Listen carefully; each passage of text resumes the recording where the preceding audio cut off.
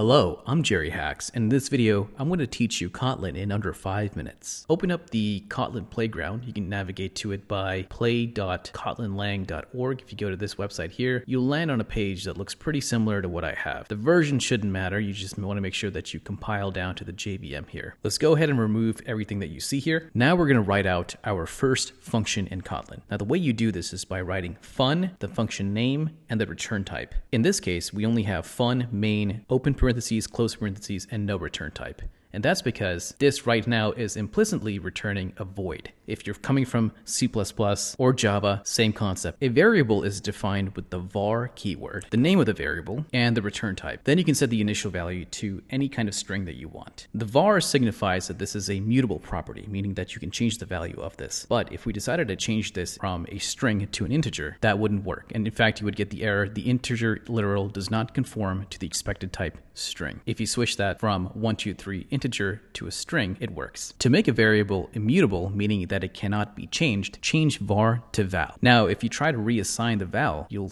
get an error that a val cannot be reassigned. The variable type is optional. You don't really need this if you already know that this is going to be a string. So if you remove this, it compiles fine. Kotlin supports your basic types of numbers, doubles, ints, and floats, booleans, characters, strings, and arrays. To create a list of string values, you just need to set the variable to list of and the type of the list with the constructor invocation. If you wanted to set an initial value on a list, you just have to add the value within the list of constructor invocation, and this can take any variable amount of data that you'd like. In order to give a return type to a Kotlin function, you can use the colon towards the end of the, the function constructor. This function is returning a list of type strings. In order to return the list of string value, we can just return a list of with the value within it, just as we did above here. Invoke the function as you would normally do. You just call the function name with the constructor invocation, and you can see the new value printed out. Kotlin gives us expressive statements that help us simplify functions and pretty much anything else. I'm going to show you how we can simplify this even more. Put your cursor at the colon all the way to the return, set an equal, remove the last curly brace, and if you run this code, you see that new value is returned. All we're doing here is we're implicitly saying the value of this function is being returned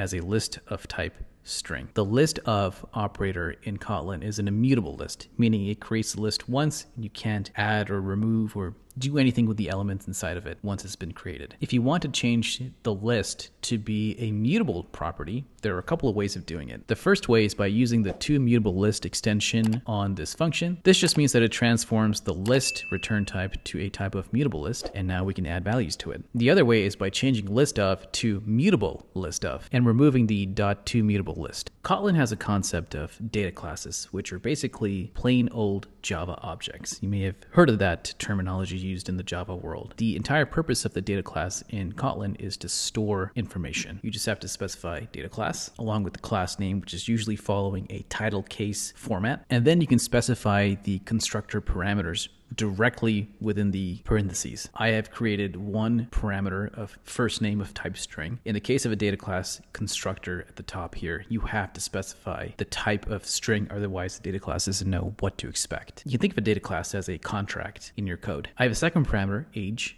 that is of type int. In order to use the myData class structure, create a variable that points to the myData class structure here. And notice I don't, I'm not using new here. In Kotlin, you don't have to do that. There are two ways of specifying the parameters here. These are immutable properties, meaning that these can't be changed, but they are also required properties, meaning that whenever you create a new object of my data class, you have to give it all of the values for the parameters that are specified here. I've set the first name to Cornelius, and I've set the age to 30. Now we can print this out and you can see the first name Cornelius and age 30. Kotlin also gives us access to something called named parameters. So now we can declare that first name means Cornelius, and age points to 30. This is very useful when you have multiple parameters of the same type. If we had another parameter of last name, it's very possible that someone could get confused and accidentally set the last name to the first parameter instead of the second parameter. If you wanted a regular class that does maybe some kind of logic, you can do that by just removing the data and declaring a class with the name of the class, user repository, and then your opening and closing braces. To loop through a structure like a list or a map, Kotlin gives us a bunch of wonderful functions that one such function is for each. You just have to do users.for each, and this will loop through every single item in this list. Now you'll notice I'm using something called it. It is just the implicit variable inside of users.each. I could have instead named this to user, and it would work fine, but Kotlin gives us it, and it's pretty well understood that it is an implicit variable, and you can use it in any of your Lambda functions. Instead of switch in the Java world, Kotlin uses something called when. I've created a structure here that will look at each item in the users list. If it matches user one, it's going to print out I am user one. Otherwise, for anything else, it's going to print out none. Any when statement will automatically break, so you don't have to write the break syntax. Kotlin has a lot to offer. Plenty of extension functions, navigating loops by using ranges. You can also have conditional expressions and companion objects with static functions and static variables. What I've presented today pretty much gives you everything that you need to start with any project that you want to. All of those will get you set up to do really well with Kotlin. If you enjoyed this video, please remember to like and subscribe so I can continue making more of these. Thank you so much for listening. I'm Jerry.